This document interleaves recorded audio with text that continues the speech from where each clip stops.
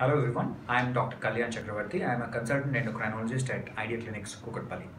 Today we're going to be talking about some common myths in thyroid that a lot of uh, the patients have a misconception about. So we're going to be busting a few of these myths today.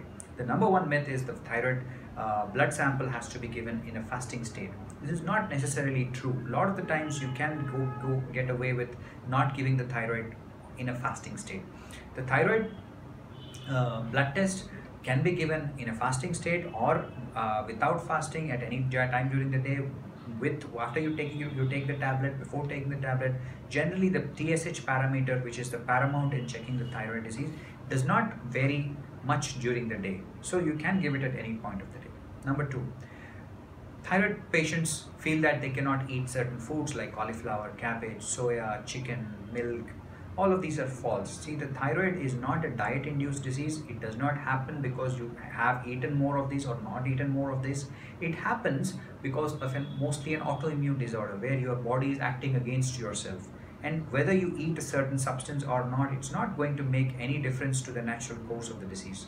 So there is no diet restriction required for thyroid. All you have to do is to take the tablet first thing in the morning. Early morning one hour gap. Don't eat or drink anything make, make sure that that one hour gap is maintained every day. That is the only thing that you have to do. The uh, tablet should not be stored in a in places where it is hot like in the kitchen or on the fridge or uh, in the window shelf where you have direct sunlight. So storage is and method of administration. If these two things are adhered to properly nothing else need to be done. You just have the tablet and forget that you have the disease. The third misconception is that in I cannot, women feel that I cannot get pregnant if I have thyroid, or I'll have problems during pregnancy, or my newborn child may have uh, hypothyroidism uh, if I have thyroid. So all of these are not true to a lot of extent.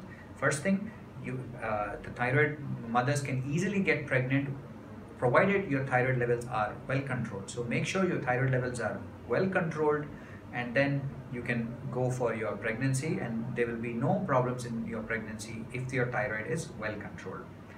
The newborn baby, if your thyroid, again, your thyroid levels are normal, it is very unlikely that you will uh, transmit any of these hypothyroidism to your baby.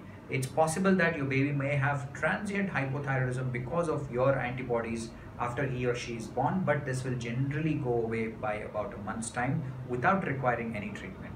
So this is the third myth.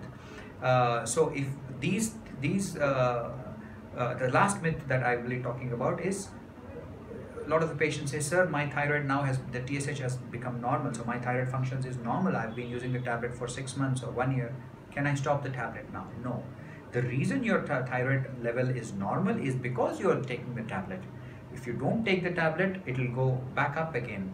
It is not a reversible condition. I we cannot treat the thyroid uh, to, to function back to its normal stage.